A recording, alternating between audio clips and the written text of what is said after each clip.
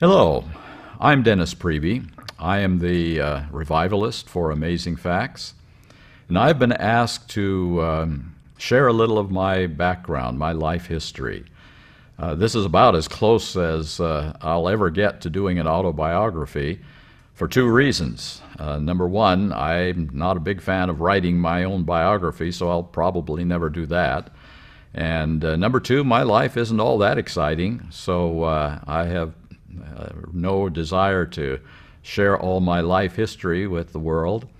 But I've been asked to uh, go through a, th- a few things that have happened in my life for the purpose of helping us understand where we are and why we're here in the Seventh day Adventist movement of today. Uh, how did we get here? How, what happened during the years that have gone by? And uh, what is significant in that? So I'm just going to start at the very beginning. I'm going to um, uh, go back to uh, my, uh, my uh, beginnings as a Seventh day Adventist, and I was very fortunate to be able to be born into a Seventh day Adventist home. I had outstanding Seventh day Adventist committed parents that did their very best to, uh, to bring me into uh, a full understanding of what it is to be part of a end time generation. And uh, so I'm very grateful for that. They sacrificed greatly to, be, uh, to put me through Adventist schools, and uh, so I, I give them so much credit for my life and what it has been. Uh, now, I'm going to pick it up about when I went to Academy. We lived in Sacramento, California, and uh, I, went to Lodi Academy for my uh, academy education, and uh, I had an excellent Bible teacher there. His name was Herbert Greer. And uh, during that period of time, I made a commitment that I wanted to be a minister in some way. And uh, so I went to Pacific Union College to take the uh, theology course to train to be a minister. What I remember most about my experience at Pacific Union College was the excellence of the teachers that I had at that time. Um, they were men, as, as, best I can tell by knowing what uh, other schools were like, they were the best teachers that I have come across in the Seventh day Adventist Church in terms of religious teaching and training for the ministry. Uh, there were men there like Carl Coffman, who later uh, went on to be the chairman of the religion department at Andrews University. There was Robert Olson, who later went on to be the director of the Ellen White Estate in Washington, D.C. Uh, Leo Van Dolson, who became a, um, a, uh, an associate editor of Ministry Magazine.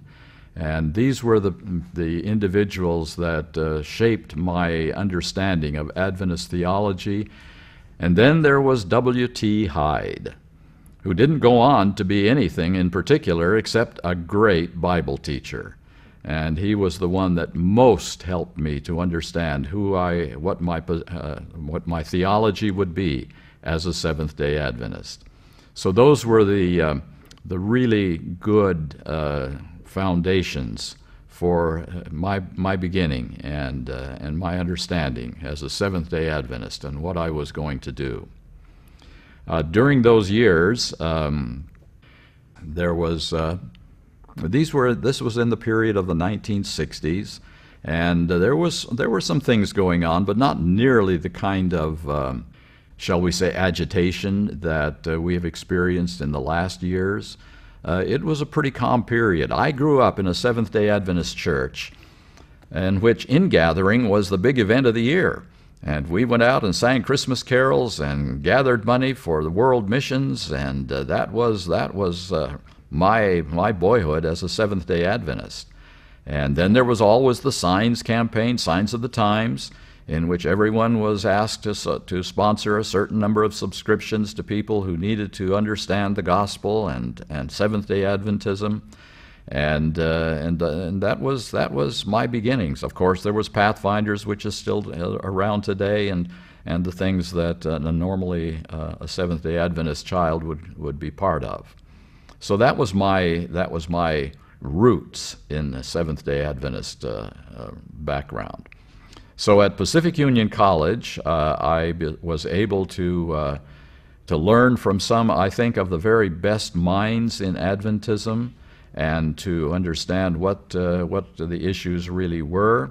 And so I began to uh, try to formulate my own thinking, my own beliefs, my own thoughts. And, uh, and again, I credit Elder W.T. Hyde for so much of where I am today and what I, uh, what I uh, have believed.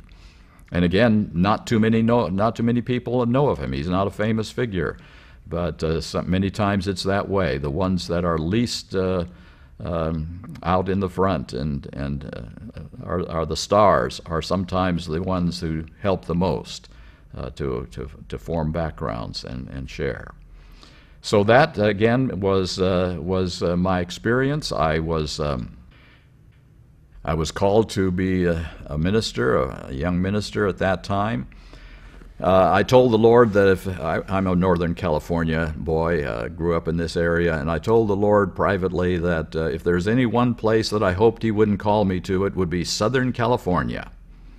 Guess where my call came from? Southeastern California Conference and uh, that's where I began my ministry. I, uh, I uh, uh, was an intern for a year at San Diego Broadway. Then, uh, what was very apparent to us young guys at that time was once you got beyond your internship, you were sent off to the Far Eastern Division. Of course, that meant for southeastern California the desert. And so we were sent out to the desert uh, as our first, past, uh, uh, first pastorates. And I became the pastor of the Brawley Seventh day Adventist Church, not very far from the Mexican border. And uh, that was for my first year. Then we were asked to go to Indio near Palm Springs. And uh, that's where my son was born, and uh, we, we spent some very good years there. I'm really, really thankful for the lay leaders of churches like that that helped me to know how to relate to people and how to be a pastor. They taught me more than I taught them. And so that was a very productive time. Then I was asked to go to San Diego, back to San Diego, to the Imperial Beach Church, where I spent a, a number of more years as a pastor, uh, learning again more about practical life than about theology. Um, I had already been to the seminary for uh, two years of, um, of training, and uh, that's where, again, beyond Pacific Union College, the, the theological uh, foundations were laid. Uh, but, uh, but being a pastor and uh, learning how to relate to people was extremely important for my, the rest of my life. So that at, at that point, we, we were trying to decide what the best thing would be for us to do and be. Uh, I was ordained at the Loma Linda Seventh day Adventist Church, one of the largest churches, of course, in the denomination. And Matthew was actually, my son was actually born at Loma Linda University Hospital. And so that, uh, again, was the very, very foundation of where we were. It was after that, when I was living, when we were living in, uh, in uh, uh San Diego, that um, I received an invitation to do something that I had never done before in my life, and that was to teach in the classroom at Pacific Union College. And so that became a part of a decision making process because I had not trained to be a teacher, I had trained to be a, a pastor. And so this was a brand new experience for, for, uh, for us, a, a new challenge uh, would, would I be effective uh, in a classroom experience uh, at a college level? And the reason that I considered this very seriously was that I remembered the quality of the, um, of the teachers at Pacific Union College, uh, the, the education that I had received there, and those teachers were still there. Uh, they, were, uh, they were still a part of that religion department faculty. And so I, uh, I thought to myself, where better could I be mentored and guided except by teachers of that quality? So we made the decision to, uh, to join Pacific Union College and the faculty, the religion department faculty there, and try to, uh, to learn what it was, what, what, how, how to best, best be a teacher uh, in the religion department for, for both general students and theology majors. And that became uh, the challenge of that time. The first year was a kind of a tough year to try to put together course schedules and syllabi and, uh, and get all the lectures arranged for the very first time in my life. And I can just say, I, again, I am so grateful for people like Carl Coffman, who uh, became a, a, real mentor to me and guided me and gave me uh, very, very good direction as to how the, to be effective in the classroom. And so we spent the, that first year trying to learn how to be a teacher uh, when I'd never trained to do that before in my life. And that became uh, the challenge of, of that time. Then, as, as we began to kind of fit into the, um, to the total perspective of a college experience and a college environment, uh, I began to be more and more comfortable with that and felt that this was probably where my real abilities and my, and my calling was. And I began to be extremely happy that the Lord had led us in this direction. So we continued to uh, try to put together the best courses and the best ideas. I taught general students like life and teachings of Jesus and Bible doctrines and Bible themes.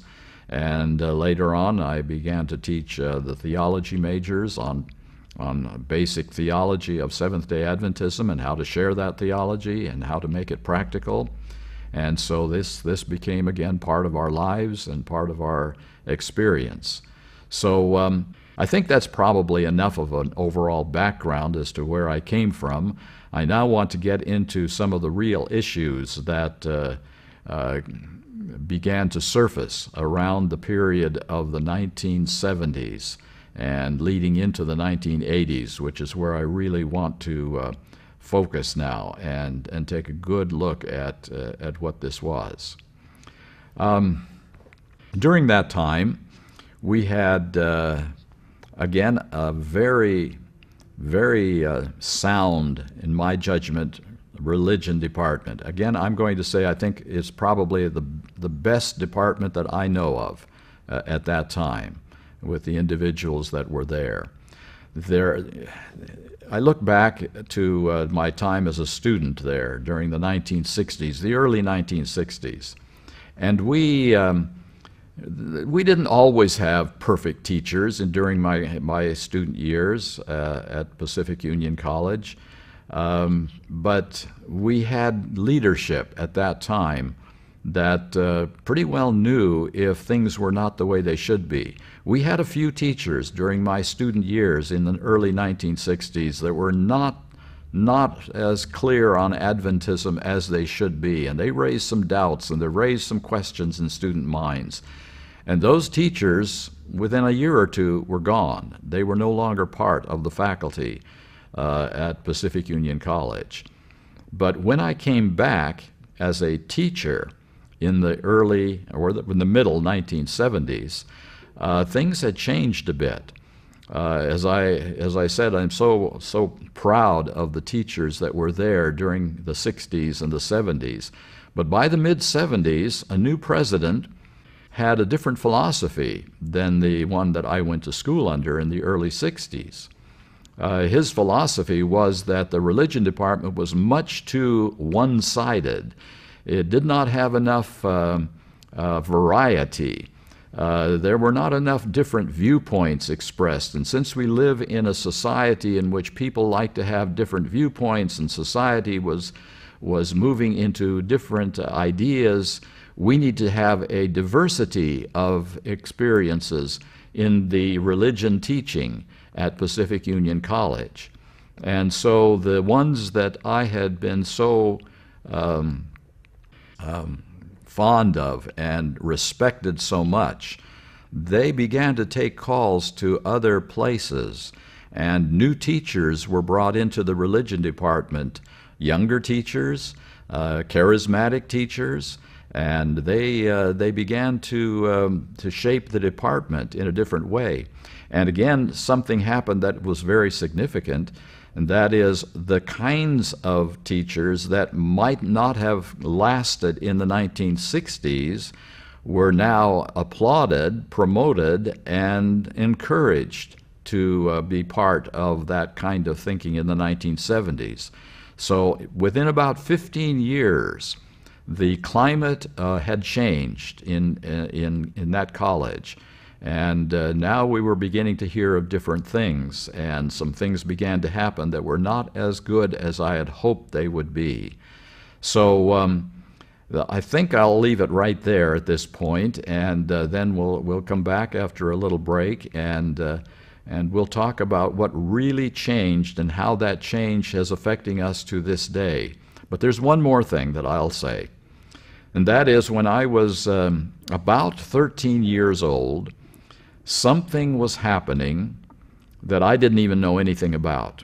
At the very top levels of the Seventh day Adventist Church in about 1955 to 1957, uh, there were discussions about um, what our gospel was really like. And the discussions were between, were between certain evangelical leaders who had come to talk to Seventh day Adventists about whether or not we were a cult. And so uh, during that period of time, major, major decisions were made. And of course, I was totally unaware of this. I was about 13 years old. So I had no understanding of what was happening during the 1950s. And again, the person that I credit most with uh, making me aware of these things was Elder W.T. Hyde at Pacific Union College. As we sat in his class as theology majors, he would explain to us exactly what happened at uh, uh, in those discussions that were taking place between evangelical leaders and, uh, and Seventh day Adventists. And he would, he would lay out the individuals that were involved and what each individual believed. And again, I am so grateful for that background. Of course, I know I to, uh, when, when I was growing up, I was totally unaware of anything like this. But uh, he was the one who opened my eyes and shared with all of us what was really happening.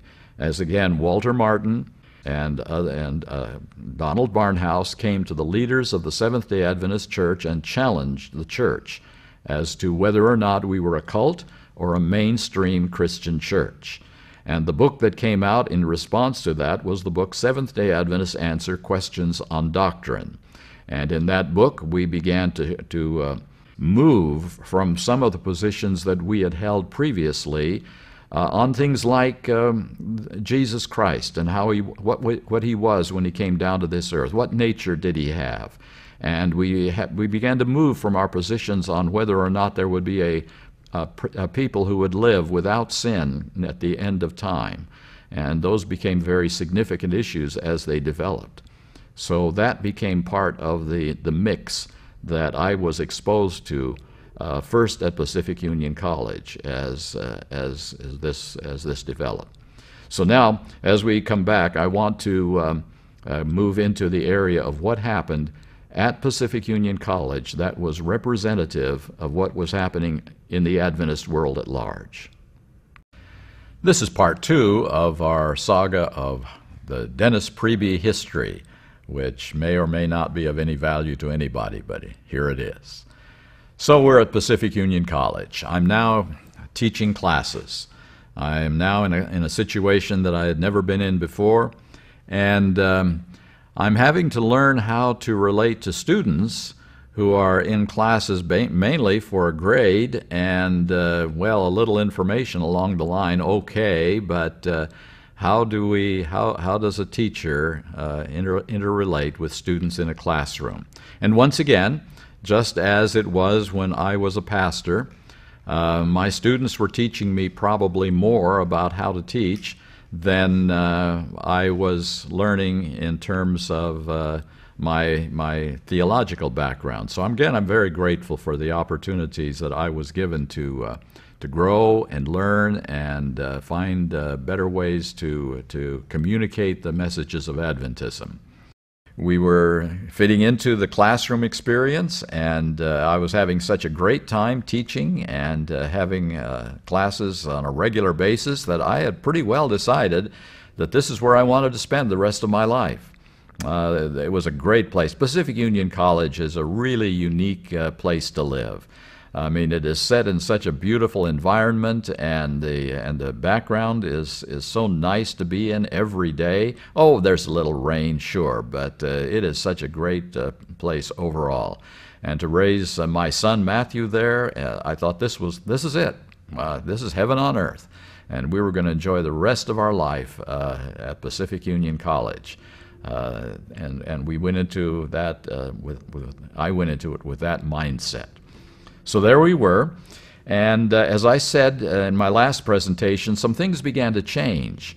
The new president brought in new teachers into the religion department. Some of the teachers that I had uh, really respected were finding calls elsewhere to, to, uh, to be part of other uh, organizations. And I was beginning to wonder why. Uh, what was making this change at Pacific Union College that I was experiencing? Uh, some of the new teachers were, again, around my age, uh, 30s, early 30s, and, uh, and uh, perhaps uh, that was seen to be best for relating to young people in the college classroom. So this was going fairly well. And then something interesting took place around the years 1976 and 1977. Two gentlemen came over the pond from Australia. One person's name was Erwin Gane, a very soft spoken uh, gentleman from Australia. Uh, as I came to know him, uh, I began to respect him as probably a scholar's scholar, very precise in his understandings and his presentations. He would dig down to the roots of words in the original languages, Greek and Hebrew, and, and find things there that I probably would not have found on my own. So, um, so I began to respect his ideas and his thoughts, and, uh, and he became uh, part of the, uh, the mix there at Pacific Union College. And then a year or so later, another gentleman came across to uh, Pacific Union College by the name of Desmond Ford, a very charismatic teacher, a very brilliant communicator, and one who knew Seventh day Adventism very well. And he had been the director of the theology program there at Avondale. So he came to Pacific Union College and uh, began to uh, teach in the classroom. Uh, his his uh, office just happened to be next door to mine, in the offices at, uh, of the religion department. However, I really didn't have too much interaction with Desmond Ford. Uh, I was a young kind of rookie teacher uh, in my early 30s, and uh, he was the he was the professional. He was the knowledgeable one. He was the scholar. And so mainly, I just kind of uh, listened. I didn't say too much. And uh, so, frankly, I didn't have too many conversations with Desmond Ford on any theological topics. Uh, we, I, I, just didn't feel myself able to, uh, to talk to him on the same level that he was at. And so, what was very interesting during that period is that in the religion department, we decided to have some, inter, some in-house discussions in which uh, the subject of righteousness by faith came to the forefront. That was the issue that Desmond Ford focused on and the issue that he talked about. And so Desmond uh, uh and Erwin Gane became the, um, the main uh, discussion leaders in this understanding. The, the primary discussions were about justification by faith and sanctification how these two issues related to each other, how the gospel would be changed by a different understanding of these things, and, uh, and so this became uh, the, the main points of that discussion. Well, this went on for several months, actually, on a regular basis, in which Erwin Gane would present his ideas on justification by faith, Desmond Ford would present his ideas on justification by faith. And I remember the then pastor of the um, Pacific Union College Church was Morris Venden. He sat in on those discussions as well. And one of his comments was, I came away after listening to Erwin Gaines saying, Amen, that's right. And then I came away after listening to Desmond Ford and I said, Amen, that's right. And uh, his, his, confusion was about the same as my confusion on this subject. Uh, I really didn't know where and uh, I would come down on these issues. It was after these discussions that the religion department uh, was asked to, uh, each member was asked to uh, put down their thoughts after we'd listened to hours and hours of debate. And it really came down to debate uh, because these two pre- presenters were totally opposite in their views of how salvation and the gospel worked. And uh, so we were asked to put on our thoughts as to what uh, we believed about uh, this presentation that we have, had sat through, had, had sat through for, for several months. I would not put pencil to paper. I would not write anything. I did not have the confidence to know what I was going to, to uh, believe about what the right opinion was. Because once again, these were not just uh, scholarly debates over minutiae. This was about how salvation works. This is about whether or not uh, Seventh day Adventists have a different message or the same message as various evangelical groups around the world. And so these were not just minor issues. What were we going to believe and teach at Pacific Union College? Uh, as again I said, I would not put pencil to paper. I did not have the confidence at that time to know what I should, where I should come down, what I should really believe. And so all I was really doing during these years, 1977 through about 1979, was just listening. I was trying to, uh, to, uh, to figure out what the truth was, and I began to see more and more that it was really significant. These were not minor issues. This was not discussing a certain view of prophecy that could be debated. This is about the heart of what is how salvation works and how I, as an individual, can be right with God, how I can have the knowledge that I am secure in Him. So that's the interesting part of those years uh, through, uh, through the late 1970s at Pacific Union College while I was, was there. Now, I'm just going to say this about Desmond Ford. Um, I came to respect him greatly as an individual. Um, I I never saw him be anything other than Christ like and natural in his relationships with individual students or faculty members. Uh, he was always a Christian gentleman.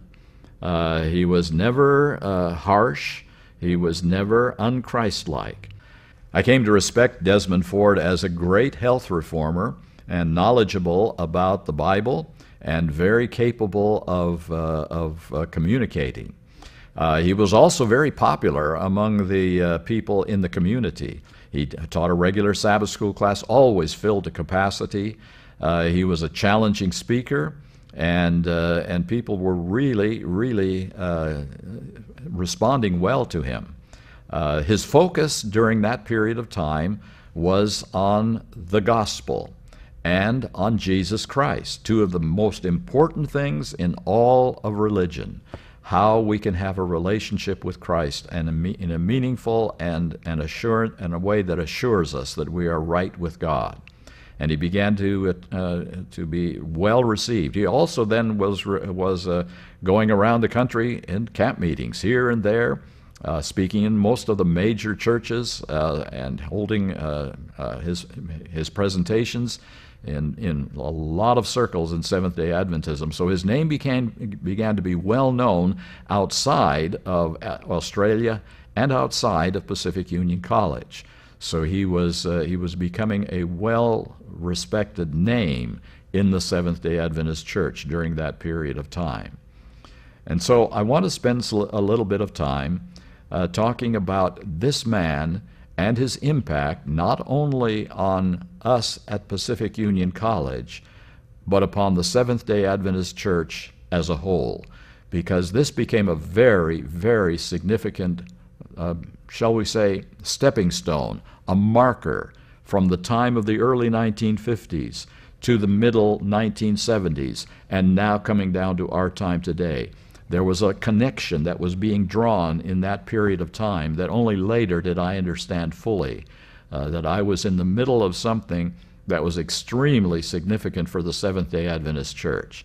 I really think that was my, my uh, uh, biggest privilege as a, as a minister and as a teacher to be able to be in the middle of that period of time that others only knew by hearing about it or having read about it. And I was able to be there in that time. And that may be the most important part of what I want to share with you uh, during these little uh, autobiographical episodes that we're doing, because that's the significance and that's the importance of why we are here where we are today. Uh, there, there is always cause and effect. Things always move from a beginning point through a process to a concluding point. And we today, in now the 2000 period, are now in the concluding parts of this process that really began in the 1950s. Again, as I say, uh, when I was uh, too young to even understand anything that was going on. And again, being very grateful to people like Elder Hyde who laid it out clearly for us so that we will be able to see exactly what was being said and what was being attempted during that 1950s period uh, when, uh, when we were being challenged as to whether we were a Christian church or whether we were a cult. And again, be very brief.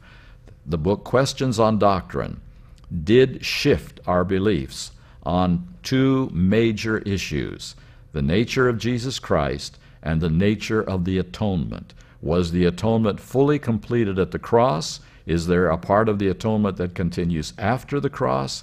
What is the final atonement? Those were big issues at that time. And at the end of the process, of course, in the 1950s, the evangelical leaders were satisfied that we had met their requirements, which means that we had changed some of our teachings on these issues, and they welcomed us as, as members in good and regular standing of the Christian community. And so we had passed the test. We were no longer a cult. And so that again is the background of that period of time, which I was not privy to. I only learned about it later. And now we come to the point of uh, the period in which I had the, uh, the, the, very fortunate experience of being in the middle of major changes in the Seventh day Adventist Church. Now, I'm going to pick that up in the next segment and talk exactly about what Desmond Ford taught and what, he meant, what his significance was to us today and how, how we uh, are, are relating to that even today. We're now at part three of the, well, is it the Priebe saga? I guess it is. And we're talking the, in this section about um, Desmond Ford and about uh, um, uh, what he taught and what he didn't teach. First of all, again, let me say I have no uh, nothing negative to say about the character and the demeanor of Desmond Ford at Pacific Union College. Always a Christian gentleman. If there's anyone who exemplified uh, sanctification and the values of, uh, of a growing Christian experience, it was Desmond Ford. Uh, again, a great health reformer and truly uh, representing uh, Adventism in a positive way. So, what did Desmond Ford teach, and how is it significant to us today? Um, as I said, I really well, was not clear on what the right what the right decisions were to be made about what he said about the gospel, about justification, about uh, salvation. Uh, was was this on track? Should I have uh, should I uh, rethink my understanding of how the gospel works. And so, once again, I am very grateful to uh, my mentor of, of, school years, Elder W.T. Hyde. He was retired then, not teaching uh, in classes any longer, but had the opportunity to spend a little time with him and talk to him about these issues. And he said one thing to me that really stood out and really shaped the rest of my ministry up to this point. And he said, the real issue here is what sin is. I hadn't even thought of that.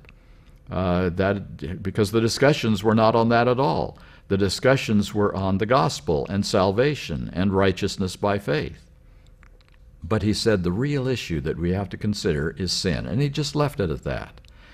And I thought about that for a long period of time. And finally, I realized that that was the key.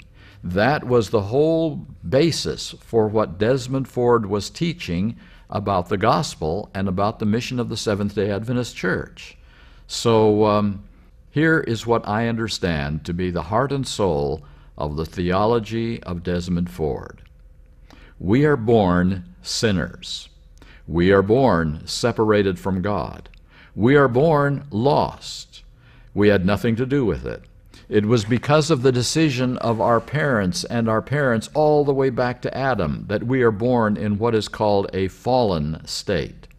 And that fallen nature that we inherit means that things are not right in our nature, our background. Um, things are going to be pressing upon us from day to day that we don't even realize, that are hidden to our knowledge because we have inherited a fallen nature. And the essence of a fallen nature is that we want ourselves first. We want to, to have what we want to have. And uh, the gospel, uh, Paul's writings are very clear that this nature, this old man, must die. So something about the nature we inherit is very negative. Fallen nature equals sin. That was the bottom line. That was the crucial foundation for everything that Desmond Ford would say. And once again, I want to say one more very positive thing about him.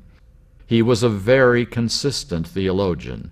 He would begin at step one and, and, and build on that all the way through to conclusion.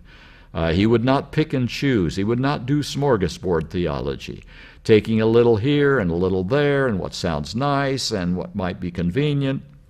He was very consistent in moving from step A to B to C to D. And that I, can say, I, I really respect as well. So, bottom line, we are born lost. We are born condemned. This was a very strong teaching of the evangelical Christian churches and this now became the foundation for his belief. Once you, you make that bottom line statement that we are born in a fallen, lost condition because of our fallen nature, then the next step in the theology becomes obvious and clear.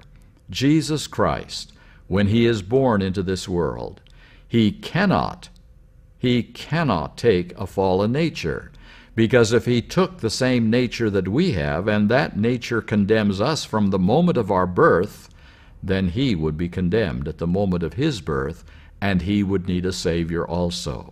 So the only way to build upon the foundation of what is called original sin, the technical term for this teaching that we are born condemned and lost, is to also believe that when Jesus Christ comes into this world, he does not take our fallen nature. Instead, he skips 4,000 years of heredity and takes the perfect nature that God gave to Adam and Eve when he created them.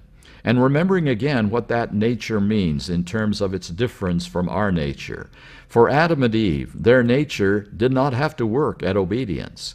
Their nature found obedience as natural as breathing as natural as getting up in the morning and going about one's activities with no thought or care for the day. The, the, the perfect nature of Adam and Eve always responded in joyful obedience to God. And so that is the nature, according to Desmond Ford's theology, that Christ took when he came down to this earth. And that's why he doesn't need a Savior in that kind of thinking because he did not have this separation from God, which we all inherit when we are born. So, there again, we have the foundation of the theology of Desmond Ford born sinners. Christ had a different experience because he had a different nature. He did not fight the same battles internally that we fight with our fallen nature. Then, obviously, the next step is moving to justification which is the step of repentance and what it means to be forgiven. Now, if we are born with a fallen nature, that means that during our entire life, this fallen nature will be impacting our decisions, our choices, and our relationship with Christ. So that means that as long as I have a fallen nature, and that is sin, I will be sinning by nature. I may, I may overcome things like my temper. I may overcome the desire to, to uh, smoke or drink, but I still have this fallen nature. And according to this understanding, fallen nature equals sin. Therefore, even while obeying, I am to some degree sinning. Um, Martin Luther put it in a simple way we are at the same time just, forgiven, and a sinner at the same time because we have this nature within us. And that was Desmond Ford's understanding as well. So he, his understanding was that we continue to sin even when we are in a relationship with Jesus Christ. And therefore, we must be constantly forgiven for constant sin. One mandates the other. And so he believed that we are in a state of, of, of, of sinning even while being obedient to some degree in our personal lives. That means that justification is an ongoing experience in our lives. Justification can never be something that makes us righteous. It can only be something that declares us righteous. And that was the big issue in the debates between Desmond Ford and Erwin Gane. Erwin maintained very strongly that justification is to both declare us righteous and make us righteous, while Desmond Ford was just as strong in saying that justification is to declare us righteous, even though we are not totally righteous inside, even though we are still sinning by nature. So, justification being declared righteous is the primary focus. And one thing about Desmond Ford that was very common to his, uh, his, his, his expressions, he would say over and over, all the leading scholars say, and of course, all the leading scholars do say that justification is being declared righteous. That is what the majority of scholars in Christianity teach. And so he was absolutely right. He was very fond of that statement. All the leading scholars say. Uh, and, and so, again, justification being declared righteous only. That means that since we are never made totally righteous, that means that um, we will always be sinning to some degree until we receive a new nature.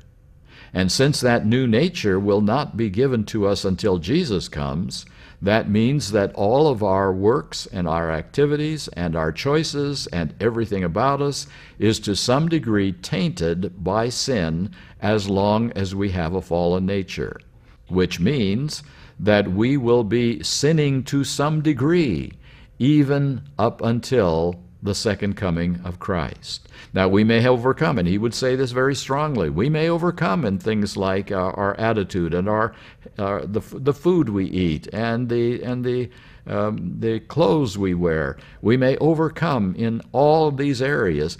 Yet, because we have a fallen nature, we are still sinning and we are still not completely restored to the image of God. Therefore, forgiveness must be part of our experience until Jesus comes, and to talk of living without sin before he comes is to make a serious mistake in our theology. So that's what Desmond Ford was teaching during that period of time. Now, we most often think of Desmond Ford as the end product of that teaching. We think of Desmond Ford as rejecting the judgment beginning in 1844. That is what he is most known for. But that's not what he was talking about at Pacific Union College. He was talking about the gospel. He was talking about our relationship to Christ.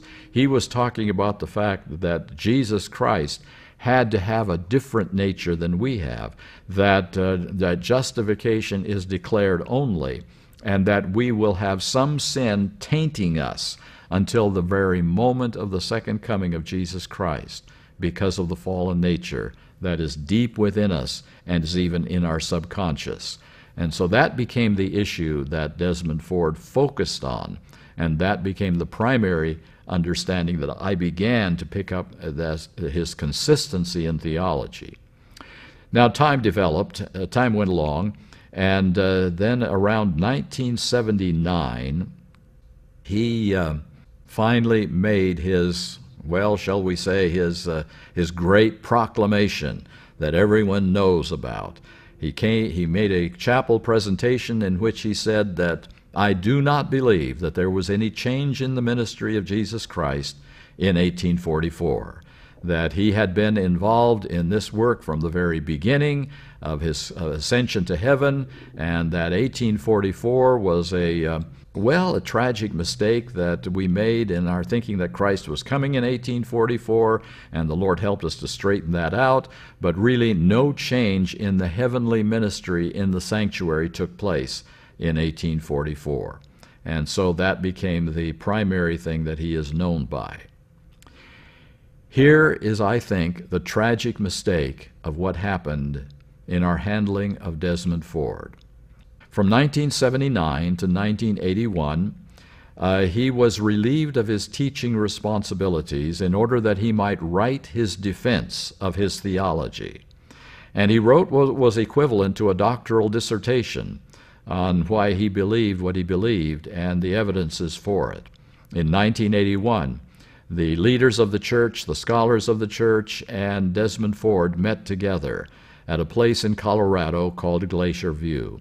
And at that time, the uh, leaders of the church uh, appealed to Desmond Ford to change his understanding of 1844 because if he continued in that understanding, he could not continue to be a Seventh day Adventist minister. That is one of our doctrinal beliefs, a landmark belief, that 1844 did mark a significant change in the high priestly ministry of Jesus Christ. And um, if he continued to teach what he taught, it would be the end of his ministry as, as a Seventh day Adventist. And so there were many appeals made to Desmond Ford during that uh, conference.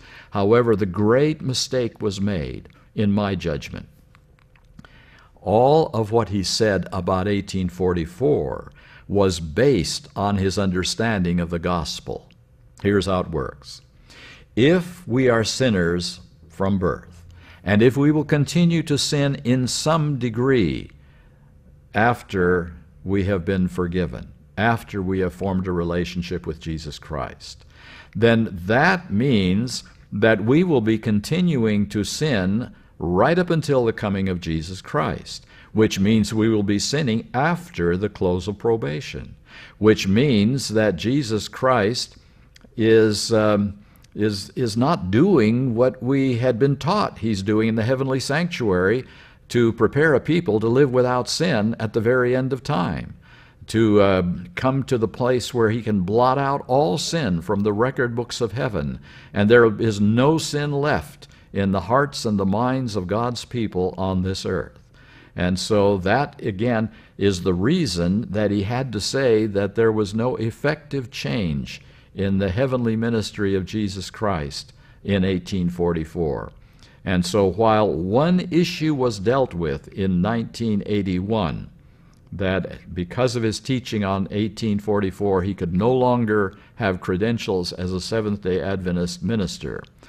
Uh, the other was not touched at all, and that is his gospel, which forced him to those conclusions. That, I think, is the tragic mistake that was made, which is, hit, which is hurting us today because it was never dealt with. It was ignored, and things that are ignored always come back to bite you to finish out the story of Desmond Ford, because I don't want to spend any more time on that. Um, he went he, after he was no longer able to teach at Pacific Union College in 1981. He formed his own ministry up in the Northern California foothills in Auburn, California. Began to do regular radio uh, broadcasts and I think some television broadcasts on health reform. And again, remember, he was a great health reformer and he began to, to do that for those years uh, after, after 1981. Then, after that, he uh, went back to Australia, he retired, and uh, he, uh, he continued his life uh, there. and began to teach at least part time in a seminary, a non Seventh day Adventist seminary. And uh, it was during those years that he asked for his name to be taken off the books of the Pacific Union College Church as a Seventh day Adventist member. And that was done. So that is when he was no longer a Seventh day Adventist in name. He was still keeping the Sabbath, but he was not a, a, a member of the church at that time. The last little thing that I'll share with you on this point is this. In the last year or two, I have come to understand that today he no longer believes that God created the earth in six literal days and rested on the seventh day. He believes that God created the earth through the process of evolution. He's a theistic evolutionist, and that has been a recent development that I have come to understand in just the last couple of years. And so there we have an example of an individual moving from one step to the next step, and the following steps are, in my judgment, very tragic. Again, I am not going to say anything about his relationship to God and his standing in salvation. Only God knows that. But his theology has shifted the direction of the Seventh day Adventist Church up until our time. Seeds were planted in the 1950s that changed the direction of the church, and they were watered during the 1970s and the 1980s by Desmond Ford's bringing them to full flower, giving us the real conclusion of what those early seeds were about, and producing a tree in which we are receiving a harvest today. The next time, we're going to discuss things that happened after 1981. We have come to about 1981, 1982. Um, before this time, um, as I was beginning to fit into the classroom more and more uh, uh, comfortably, the college decided that it would be important for me to continue my graduate studies and uh, that I, I needed to work toward a doctoral degree. And so at that, in, in 1979, I uh, chose to go to Andrews University to work on a THD degree, that is a Doctor of Theology degree, and uh, spend uh, a couple of years back there, and uh, then write a dissertation and complete the doctor the requirements for a doctorate in theology. So, with my family, my, my son and my wife, we packed up and we moved back to Andrews University. We got to experience the beautiful winters of Andrews University and trudging through the snow, and I even broke my leg on one occasion on a bicycle. So those were kind of interesting years for us at uh, Andrews University uh, in 1979 to 1981. Now, I did appreciate the classes that I was able to take and the uh, the added knowledge that I was able to get. I didn't appreciate so much the uh, the hoops that one had to get to, to, jump through in order to even get to the classes. We had I had to have a a reading knowledge of obviously Greek and Hebrew, but also German and French uh, to pass exams in that before I could even take the first class. And so those were some of the uh, the not so nice things my, that I had to go through, but I did appreciate. I did appreciate the time that I was able to spend there and the classes uh, that I was able to take and the teachers at Andrews University. So that was good. But what really happened for me and what really was significant about that was not so much the classes that I was able to take, because now, again, I was beginning to formulate my thinking on these issues of salvation and righteousness by faith. And I had come to some conclusions about Desmond Ford and I saw his, his direction as really a very dangerous direction for the future of Seventh day Adventism. And I was putting together my thoughts and reflecting on this. I was, it was so good for me to get away from the kind of intense uh, uh, controversy that was building up at Pacific Union College and just separate from it completely and do some thinking and do some studying. And for the first time in my life, I was exposed to what is known as the 1888 message. In all my experience in Adventism up to that point, And again, I've gone through all of my education in Adventist schools from second grade on through graduate school. I had never heard anything about Jones and Waggoner. I had not heard about it, obviously, in academy, and I did not hear anything about it in my college experience as a student. I had heard virtually nothing about it. And uh, all of a sudden, I began to hear of some things that were happening.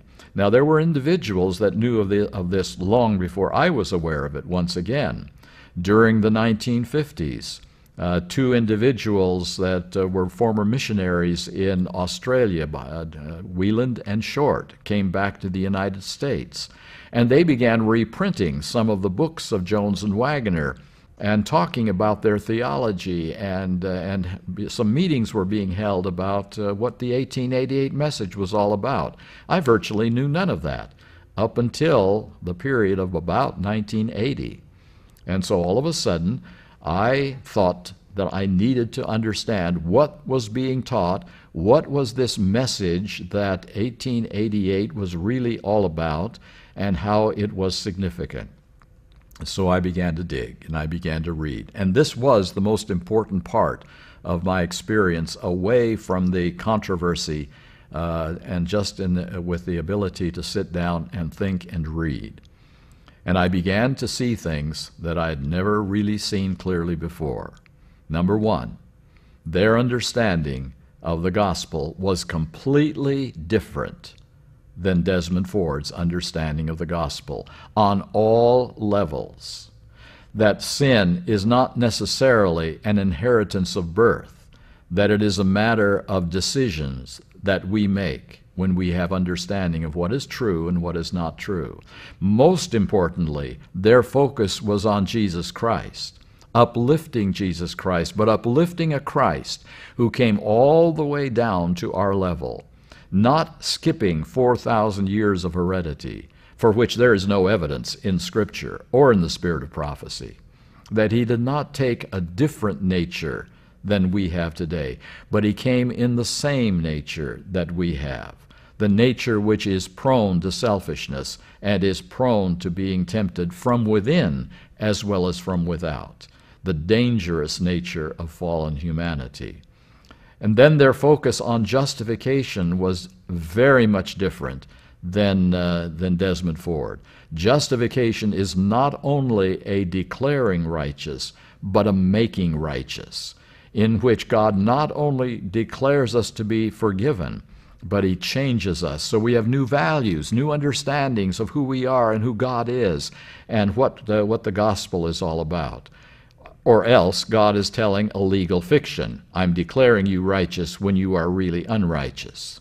The 1888 message says what God says, He has already made to be true. And so that became another part of this message that uh, I had not understood before, uh, that they taught before that time. And then, of course, the conclusion of the message has to be that if God can make us righteous at the moment of justification and produce a sanctifying growth in our experience all the way down through our lifetime, there will come a time, if we live to the end of this earth's history, when all sin will have been removed by the grace and the power of God. And so we will no longer be sinning in thought or word or action which is the only definition of sin that is, that is valid. I began to understand that their gospel was a completely different gospel than the gospel of Desmond Ford, from beginning to end, from root to conclusion. That this was a, is a completely different way of seeing salvation and how God is, is preparing a people for translation at the very end of time. And so Desmond Ford's gospel began to become very clear to me as an aberration, as a false gospel, as a teaching that would destroy the Seventh day Adventist Church. And I began to be very, very grateful for a message that came in 1888. Now, there's one thing that we need to clarify there. It is called the 1888 message. But in that particular year, can we say unfortunately or maybe by God's providence? We don't know. No record was taken of the presentations they made at the 1888 conference. There are no verbatim transcripts of that. Now, later general conferences all had verbatim transcripts. They were all done, and we have the record of each one. But in that year, there was no record of what they taught. There were only eyewitness accounts of what they taught. So that means that we do not know everything they said in that particular conference. And some people say, well, that means we don't know what the 1888 message is. I think it may be providential that because that was just the beginning of their teaching on the gospel and on these issues. When they really began to formulate their opinions and state them very clearly was in the early 1890s. And in 1893 and 1895, this message came to full fruition. Uh, they began to, it began to be a very polished mes- message. They began to say things as clearly as they had ever said them, and their writings were in harmony with that at that time. So it really should be called the 1890s message, the message which was designed uh, to get God's people ready for translation. Because if we read Ellen White correctly here, we were to be in a period of time at that period to prepare us for translation. There should have been a second coming in the 10 or 12 years following 1888, according to Ellen White. And this was the message which was to prepare a people for translation. She said it was the beginning of the loud cry. She said that if, that if we rejected this message, we would reject Jesus Christ, the author of this message. So that began to impress me greatly during this period of time, that this is where God had spoken to us more clearly on the subject of righteousness by faith than at any previous time in Adventist history. And, uh, and I began to dig deeply into this period and this understanding. Just to kind of pull it all together, um, the message of 1888 and the years following is just as much in jeopardy today as it ever was in 1888. Uh, Ellen White wrote so much about the fact that, uh, that uh, if the leaders continue to oppose and ridicule the message and the messengers, their salvation could be at stake in this issues and the issue, and there needed to be repentance. Well, today there is just as much opposition in high scholarly circles against the messages of Jones and Waggoner, the issues of sin being a matter of choice Jesus Christ taking our fallen nature, justification being made righteous as well as declared righteous, and complete victory over all sin before Jesus comes back to this earth. Those issues are just as much opposed today as they ever were in, in the 1890s. So this message is still not accepted by and large in Adventist scholarly circles. And we're going to see as we move on through these uh, presentations how that is impacting us right now, today. The 1888 message, I believe, was the clearest message ever given to the Seventh day Adventist Church on how to get ready for translation and the second coming of Christ. I think that this is something every one of us needs to get deeply into right now that the messages are there. When I was growing up, the books were not available.